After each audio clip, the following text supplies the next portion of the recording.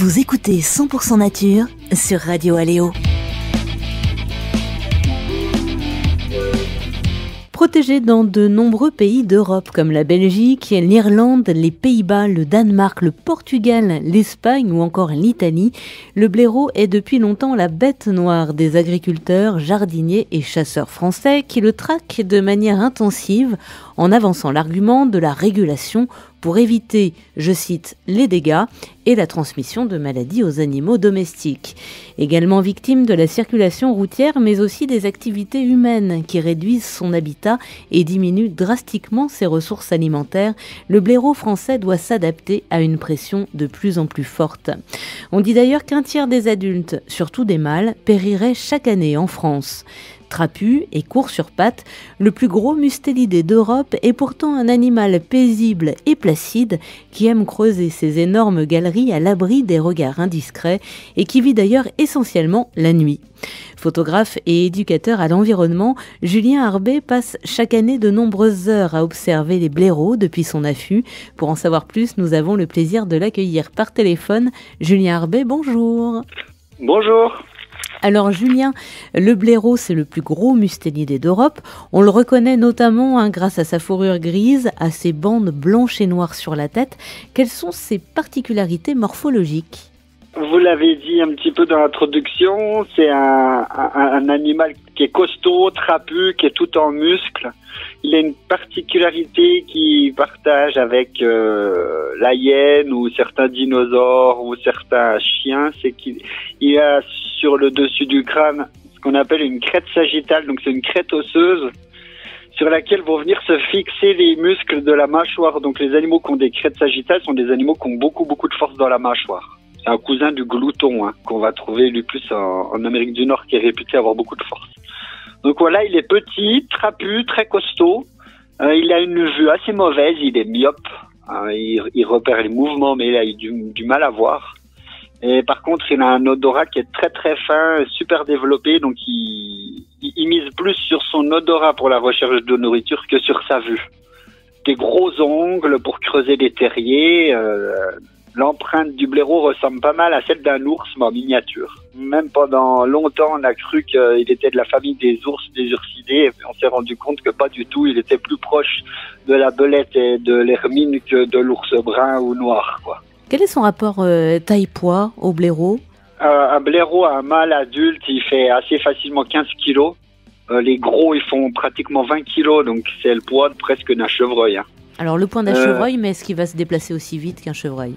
Oh non, il se déplace pas. il a, il a pas l'élégance non plus du chevreuil et sa finesse, mais il a une démarche plus, on dirait, tout droit issu d'une bande dessinée, quoi. Il a, il trotte en, en, tanguant un petit peu, en faisant des petits bonds. Euh, non, c'est pas du tout la, finesse et la grâce du chevreuil qui va faire des grands bonds. non, le blaireau, il file au ras du sol, mais on va dire qu'un humain qui court vite arrive à rattraper euh, un blaireau, quoi. Alors Julien, vous nous l'avez dit, hein, le blaireau a une mauvaise vue. Est-ce donc son ouïe et son odorat qui lui permettent euh, eh bien, de se déplacer la nuit, puisqu'il vit essentiellement la nuit? Ouais, c'est ça. Alors, oui, oui, il a, il, a un excellent odorat. Il arrive à renifler les vers de terre qui sont à l'intérieur du sol.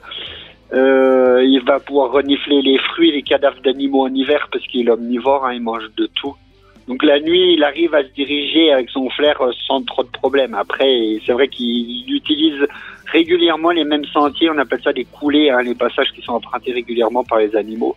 Et donc son chemin, son itinéraire, sa ronde de nuit, il la connaît par cœur, quoi. C'est un animal qui vit en famille. Est-ce qu'il lui arrive également de vivre en clan de plusieurs familles? Dans ma tête, le blaireau est vraiment euh, territorial. Il y a des bagarres avec des voisins euh, qui sont pas du même clan, mais je sais pas si dans un clan il y a qu'une famille ou s'il peut y en avoir plusieurs. Il existe des donjons ou des châteaux forts, sont des groupements de terriers de blaireaux. On peut avoir jusqu'à 50 ou 60 entrées qui sont pas forcément toutes utilisées, mais toutes correspondent à des galeries, à des salles souterraines. Et là, j'imagine, dans des endroits comme ça, qu'il y a plusieurs familles qui vivent ensemble, mais elles font, on va dire que c'est des cousins éloignés, mais ça doit être euh, à la base la même famille, c'est un clan familial. Tous les individus d'un même clan familial ont la même odeur. Julien, vous nous l'avez dit tout à l'heure, hein, le blaireau est très très efficace pour creuser des galeries. Il choisit de, s'installer euh, où en général? Plutôt à couvert, j'imagine? Ouais, généralement à couvert. Ça arrive de trouver, on trouve parfois des terriers dans des zones ouvertes, mais c'est dans des zones qui sont où il y a des grandes zones de monoculture, à culture intensive. Si on est dans des zones où il y a peu de forêts ou peu de bosquets, il va avoir tendance à, creuser ses terriers en plein champ ou dans des talus. Mais euh, autrement, oui, la plupart du temps, euh, c'est en forêt. Moi, je connais que des terriers qui sont situés en forêt. Euh, il aime bien la présence d'eau à proximité, que ce soit un petit étang, une mare euh, ou souvent un ruisseau. Dans une pente, parce que c'est plus facile à, à, sortir la terre. Il fait des galeries monstrueuses, hein, le blaireau, hein, très, des très très grandes galeries. J'invite les gens qui écoutent à aller euh, à chercher sur internet euh, le plan d'un terrier de blaireau pour se faire une idée de la longueur des galeries. C'est des dizaines et des dizaines de mètres de galeries souterraines avec plusieurs salles qui communiquent entre elles. Donc tout ça, bah, ça fait de la terre à évacuer. Et en, en terrain en pente, c'est plus facile de pousser la terre en bas du terrier qu'à plat, quoi. Et puis il va préférer des sols un petit peu meubles, euh, un peu plus faciles à creuser. Et alors du coup, il y a plusieurs entrées hein, dans ces terriers. C'est facile de repérer l'entrée principale? C'est pas si facile bah, d'expérience. Les entrées principales, elles changent au fil du temps, même des fois d'une année sur l'autre, même des fois d'une saison sur l'autre. Donc après, on reconnaît assez facilement les entrées principales, entrées-sorties, parce que c'est celles qui sont euh, le plus piétinées, euh, le plus terreuses, où on trouve pas mal d'empreintes. On n'a jamais une toile d'araignée en travers du trou, on n'a pas de pommes de pin ou de branches qui traînent, c'est vraiment propre. Alors un terrier qui peut euh, servir à stocker la nourriture, vous avez déjà observé ça Un blaireau qui ramène de la nourriture dans son terrier? Non, j'ai jamais observé. Moi, j'ai observé la litière, le changement de litière. Donc, le blaireau, il, il a une salle souterraine qui est assez grande dans laquelle il va hiberner ou, ou dans laquelle la femelle va mettre bas. Dans le fond de cette petite salle là, qui a un peu la forme d'un igloo souterrain, dans le fond de cette salle, il va mettre du foin. Donc, il va il ramasser des herbes sèches dehors. Il fait une boule. Il coince ça, je l'ai bien observé, ça, j'ai fait pas mal de photos, c'était assez drôle, j'étais surpris la première fois. Il fait une petite boule euh, avec ses pattes, il la cale sous son cou, entre la mâchoire inférieure et son cou, il va bloquer la boule de foin, puis il avance à reculons pour emmener le foin, pour emmener sa litière à l'intérieur du terrier, puis j'ai jamais vu sortir la vieille litière, mais j'imagine qu'en tout cas dans le terrier que j'affûte, souvent il doit le faire la nuit. C'est vrai que c'est un animal qui peut cohabiter avec euh, d'autres espèces dans son terrier, comme les lapins ou les renards. Ouais, ouais, ouais, avec le renard, moi j'ai déjà observé plusieurs fois. En fait, il utilise les mêmes portes d'entrée pour accéder à des salles souterraines différentes. Donc en fait, ils sont dans le même immeuble, ils font, c'est pas vraiment de la colocation, ils sont dans le même immeuble, ils ont la même porte d'entrée. Ça, c'est assez courant, c'est plus le renard qui va aller squatter des, trous du blaireau le renard il va être un peu plus profiteur, il va voir qu'il y a des terriers mis en place, que toutes les salles sont pas utilisées, donc euh, il peut en squatter une. Euh, j'avais le cas il y a deux ans, j'avais dans un même terrier des renardeaux et des blaireautins.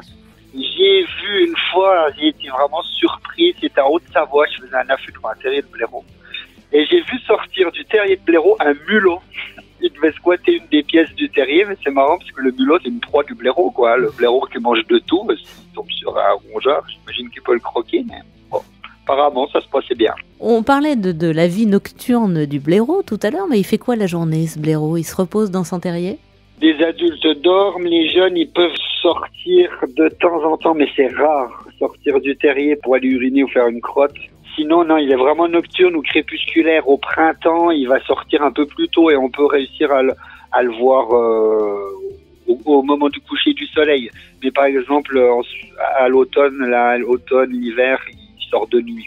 Ah, on parle de l'hiver, justement, c'est à ce moment-là qu'a lieu la saison des amours hein, pour se réchauffer. C'est de janvier à mars, si je ne me trompe pas, hein, euh, Julien. Pour nos auditeurs, pour les mâles, on dit les blaireaux. Pour les femelles, c'est les blairelles, c'est ça? Oui, c'est ça. Et pour les petits, c'est les, les blaireautins. Combien de petits dans chaque portée? Il y a deux ans, j'ai une portée avec un seul petit. C'est assez peu commun. En général, ils sont 3-4. Ça peut aller jusqu'à 6, ça peut aller sûrement à plus. Hein. Il doit y avoir des cas avec 7-8 blaireautins. Mais en général, c'est 3-4. Après, plus il y aura de ressources alimentaires, et meilleure sera la reproduction. Et alors chez cette espèce, on parle d'ovo-implantation différée, hein, un mot qui paraît super compliqué. Vous pouvez nous expliquer ce que ça veut dire? En gros, il diffère les naissances? Ouais, c'est ça, c'est que au moment de l'accouplement, l'ovule va être fécondé, ça va créer un embryon qui va s'implanter dans la muqueuse utérine et qui va stopper son développement pendant plusieurs semaines ou plusieurs mois et qui va reprendre quand les conditions du milieu seront propices. Donc en fait, on a une période de latence, il y a eu la fécondation, il y a une période de latence et ensuite l'embryon reprend sa croissance pour arriver à terme quand il y a plein de disponibilité alimentaire. Il y a d'autres animaux, d'autres mustélidés qui font ça. Je pense à la fouine, la martre, et puis d'autres mammifères comme le chevreuil, par exemple, qui ont ce fonctionnement-là. Et à quel âge les petits vont commencer à s'aventurer hors du terrier? Oh, ça va vite, hein. un mois, un mois, un mois et demi, ils commencent à faire leur première sortie. Alors au début, ils sortent accompagnés par les adultes, ils sont assez tout petits, ils s'éloignent pas, hein. ils restent vraiment... Euh, les deux, trois premières sorties, ça se fait dans un rayon de 3 mètres aux alentours immédiats du terrain. Puis après, plus les jours vont passer, plus ils vont gambader loin. La portée que j'ai beaucoup suivie, moi, euh, un mois après la première sortie, ils vont déjà vraiment loin, quoi. Ils gagnent en autonomie, ils comptent plus sur les adultes et puis ils sortent euh, avant même que les, parents pointent la truffe dehors.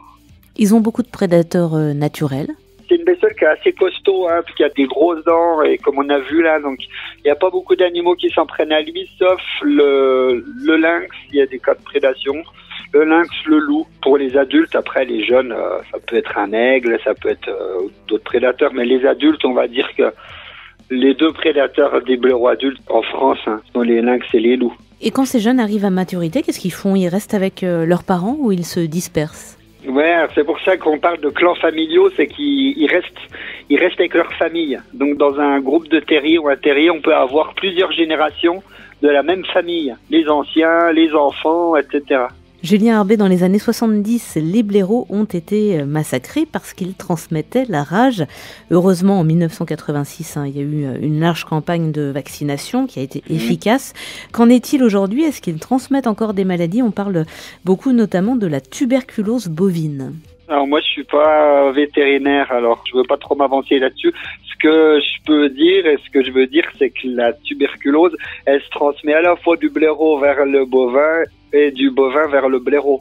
Donc c'est pas forcément les blaireaux qui vont donner la maladie au bovin, mais après c'est une maladie. Moi j'en ai assez, en tout cas dans toutes ces dernières années j'en ai assez peu entendu parler. Il est mal aimé pour cette fameuse maladie là. Euh, on comprend les paysans quand les bêtes touchées par la tuberculose. Et il est aussi classé, enfin il est inuisible pour les entre guillemets les dégâts qu'il fait aux cultures parce qu'il va aller manger du maïs, parce qu'il va aller euh, rentrer dans les jardins pour aller piquer des carottes. voilà. Mais il est, il est opportuniste, quoi. Il mange de tout. On voit pas toutes les charognes qui débarrassent, les bulbes, les racines qui mangent, euh, les fruits et tout ça.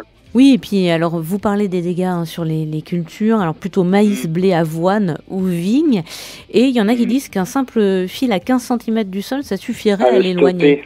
Ouais, ouais, il va pas sauter en fait, donc euh, c'est sûr qu'un fil à faible hauteur, euh, ça va le bloquer le blaireau. Et puis il va pas s'acharner à vouloir passer à tout prix. C'est bloqué, il va aller voir ailleurs, quoi. Il, il est pas du genre têtu, hein, le, le blaireau. Hein. Mais oui, c'est assez facile de le stopper sur, par exemple, sur un jardin. Après, c'est vrai que celui qui a des grandes cultures céréalières entourées de bosquets ou de haies, etc., ça va être plus compliqué parce qu'il faut clôturer tout le tour. Mais ça se fait, c'est assez rapide à mettre en place. Julien Herbert, le blaireau est protégé dans de nombreux pays d'Europe, mais pas en France où il est chassé jusqu'à 9 euh, mois et demi hein, quand il n'a pas de chance. Alors beaucoup d'associations ont alerté, hein, demandé l'arrêt du déterrage ou de ce qu'on appelle la vénerie sous terre. Est-ce que vous pouvez nous expliquer comment se déroulent ces méthodes de chasse? C'est affreux, c'est vraiment d'un autre âge. Hein. En fait, on va chercher le blaireau euh, dans sa maison à tout moment de l'année, quasiment, 9 mois sur 12. Donc euh, le blaireau gîte donc dans des terriers, on l'a vu, les salles souterraines elles peuvent être à 2 mètres ou 3 mètres sous terre, hein, ça peut descendre assez profond sur des sols épais. Et donc on a des équipes de veineurs, on les appelle, qui font la veinerie sous terre, qui sont accompagnés de chiens. Ils arrivent près d'une zone où il y a les terriers, ils vont mettre les chiens à l'intérieur des galeries, les chiens vont aboyer tout l'équipage qui est au-dessus entend les aboiements des chiens sortir de terre. Grâce aux aboiements des chiens, ils vont savoir où creuser pour accéder aux salles où les blaireaux sont tétanisés, ils sont bloqués à l'intérieur de leur galerie, ils montent les dents, puis ils peuvent plus sortir parce qu'au-dessus, ils ont dix bonhommes qui les attendent avec des pelles et des pinces et des fusils. Et donc on creuse, on creuse, on creuse jusqu'à accéder aux blaireaux, qu'on attrape avec des grosses pinces métalliques on l'attrape par le cou, on le sort, et puis soit on lui tire une balle dans la tête, soit en donnant en pâture au chien, en tenant bien sa gueule avec la pince. Super mode de gestion de certains premiers écologistes de France. Alors, il y a pas mal de pétitions hein, qui ont circulé, mmh. recueillant des dizaines de milliers, voire pour certaines, hein, même des centaines de milliers de signatures pour euh, mmh. l'abandon de cette euh, chasse, hein, le déterrage euh, ou la vénerie sous terre. Et pourtant, rien ne change. à votre avis, pourquoi? Niveau de la chasse, il y a peu de choses qui changent et quand ça change, euh, la plupart du temps, c'est en faveur des chasseurs. Hein. Depuis quelques années, là, on a baissé le prix du permis de chasse par deux il y a quelques années. On autorise de plus en plus euh, d'espèces chassables. La France est le pays où on chasse le plus d'espèces protégées en Europe parce que les chasseurs sont des électeurs qui sont bien insérés dans le monde rural et c'est dur de faire changer les choses parce que sous prétexte d'une tradition, etc., ben, eux, ils vont avancer le maintien des traditions et puis les, décideurs vont, vont vouloir aller contre eux qui sont des acteurs et qui sont bien plantés dans le monde rural, la paysannerie, etc. Quoi. Enfin, c'est souvent la même chose. En tout cas, c'est ce que j'imagine. Julien, dans, certains départements, hein, notamment le Cher, les chasseurs disent que la régulation du blaireau est absolument nécessaire parce qu'il n'a pas de prédateur naturel. Alors nous, on remarque en Saône-et-Loire, là, qu'on vient d'autoriser le tir du loup, qui est un prédateur naturel, j'imagine, du blaireau, notamment. Est-ce qu'il n'y aurait pas un espèce de petit paradoxe dans la façon dont on régule les espèces animales en France en, ce moment? Bah si, si, si. C'est ça. On se plaint qu'on a trop de cerfs, alors il faut tuer les cerfs, mais en même temps on tue le prédateur du cerf qui est le loup. On dit il faut réguler les chamois pour pas qu'ils se donnent des maladies entre eux, donc il faut les tirer, mais en même temps on supporte, enfin en tout cas certains chasseurs, certains, hein, parce que tous ne sont pas comme ça, hein, j'encourage les autres. Mais voilà, ils vont tirer le lynx, euh, vont, vont le braconner, c'est toujours la même chose. On se plaint de la présence de prédateurs, on veut réguler à la place des prédateurs et on veut pas que ce soit d'autres prédateurs qui fassent ça à notre place. Alors pourquoi? Il y a peut-être un problème d'ego là-dedans. C'est un animal, euh, on l'a dit tout à l'heure, hein, qui est beaucoup chassé. Est-ce que du coup il est craintif, euh, vraiment sensible au dérangement? C'est pas les animaux les plus sensibles au dérangement. Après, n'importe quel animal, euh, il a besoin de survivre. Donc, il a besoin de manger, il a besoin de se reproduire. Et si on fait un affaire au blaireau le soir et puis qu'il nous sent au moment de sortir du terrier, il va rentrer dans son terrier. Nous, c'est pas grave, on rentre chez nous, on, se met au chaud et on, et on va prendre le repas du soir. Le blaireau, lui, va rester euh, une heure ou deux heures de plus dans son terrier avant de ressortir pour voir si on est toujours là. Et du coup, bah, c'est une heure ou deux euh, qu'il aura moins de disponible pour chercher à manger, trouver un ou une partenaire, etc. Quoi. De son terrier, il va être plus peureux, plus craintif. Nous, quand on le voit sortir du terrier, en fait, ça fait dix minutes qu'il est juste euh, à fleur de terre, qu'il est sous terre, la truffe en l'air et qu'il renifle pour savoir s'il y a un danger ou pas. Donc, c'est pas comme le runner qui va sortir tout droit de son terrier, puis quand il se rend compte qu'il y a quelque chose qui va pas, il fait demi-tour. Le blaireau, lui, il est beaucoup plus précautionneux il va renifler, il va écouter, et puis s'il sent rien, s'il n'entend rien, c'est là où il va sortir. Dès qu'il a un doute au terrier, il va faire demi-tour, rentrer dans son terrier, voilà, il, va être assez craintif. Par contre, quand il est en maraude la nuit, là, il va être beaucoup moins craintif, beaucoup moins peureux. On arrive même à approcher certains blaireaux relativement près. Il vient près des maisons, il craint pas la lumière. Euh, Dès qu'il est un peu plus loin de son terrier, il va être assez peu peureux. Quelle est la photo dont vous êtes le plus fier, Julien? Alors c'est marrant parce que c'est une photo que j'aime beaucoup, beaucoup, mais j'ai assez peu de retours des gens dessus et j'ai pas trop de remarques, mais c'est pas grave, j'ai, moi elle me parle. C'est un blaireau sur son petit sentier le soir, il est face à moi, il a les deux pattes avant, il est un petit peu debout sur un tronc, un vieux tronc mort d'arbre qui est couché en travers de son chemin. Donc tous les soirs il l'enjambe. Et ce soir-là, il a enjambé ce tronc en faisant une petite pause et les deux pattes dessus, le museau en l'air, et c'était les trois dernières minutes du soleil. Donc je suis à contre-jour, il y a une belle lumière dorée, et on voit, on voit sa silhouette. Ah, magnifique euh, photo que vous avez fait pendant le confinement, je crois. Ça date d'avril, ça, non? Ouais, c'est ça. Ouais, ouais. C'est un blaireau que j'ai pas revu, que j'ai revu encore. Enfin, je l'ai vu pendant pratiquement trois mois ce printemps et je l'ai jamais revu ensuite. Alors je sais pas s'il est mort ou quoi. Il avait un, il avait un souci à un œil. Il a un œil, je voyais pas de jour en jour, mais presque qui gonflait. Il avait son œil gauche avec une espèce de tumeur. Je sais pas si c'était l'œil ou la paupière. Donc il dévisage, qui lui font une drôle de tête. C'est peut-être pour ça que les gens euh, accrochent pas trop. Mais c'est pas trop visible sur la photo puisque c'est à contre-jour, mais on voit que l'œil est un petit peu bombé, quoi. Je sais pas à quoi c'est dû, je sais pas s'il s'en est sorti, s'il a s'est aperçu ou s'il est mort, mais en tout cas, c'est une photo puis un animal que j'aimais beaucoup. Quelle est la photo que vous rêvez de faire? J'ai fait quelques photos de blaireaux dans la neige, mais c'est de la vieille neige et une belle neige fraîche, même 5 cm. Et un blaireau noir et blanc là-dedans, ça ferait une photo assez monochrome qui pourrait être vraiment jolie.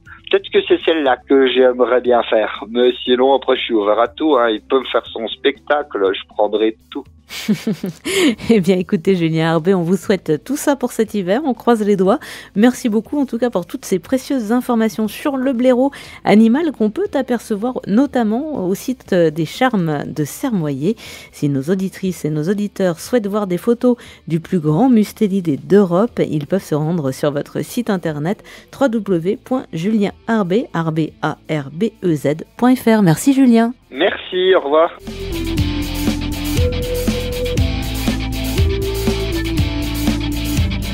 C'était 100% nature sur Radio Aléo. Retrouvez cette émission sur notre site internet radioaléo.fr.